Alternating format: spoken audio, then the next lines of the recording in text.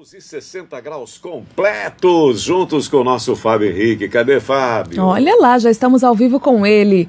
Bom dia, Fábio Henrique. Alô, alô. Oi, bom dia, Fábio. Como é que você está? Tudo bem, Fábio Henrique? Meu considerado Fábio, esperando que todos nós tenhamos passado uma santa e abençoada Páscoa. Eu só comi o chocolate que o nosso querido glorioso Fábio Henrique nos concedeu através da Jéssica. A Jéssica foi generosa. Estou esperando até hoje o meu chocolate do Fábio Henrique. Só presenteou você com chocolate. Só comi aquele. Ah, e do Clay também. Comi o chocolate gostoso de Clay Laranja Lima.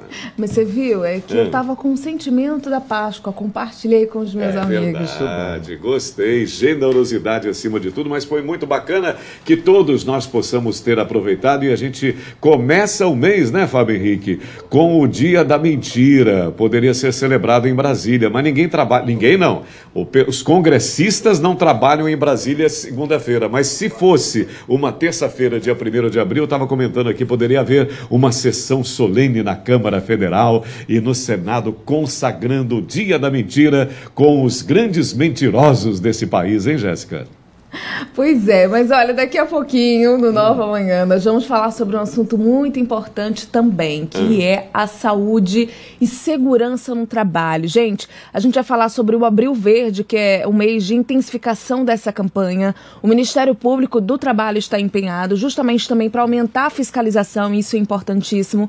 Nós vamos falar sobre canais de denúncia. Tem muita gente que tem medo de denunciar situações precárias no trabalho.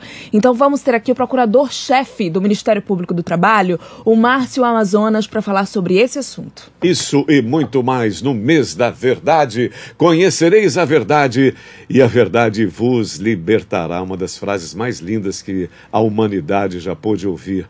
Né, Fábio Henrique? Então, meu querido, uma ótima semana para nós, meu considerado amigo e irmão. Bom dia, Fábio. Valeu, Serginho. Valeu, Jéssica. Uma ótima Valeu, semana para vocês. Nova Brasil, emissora que integra o sistema Atalaia de comunicação.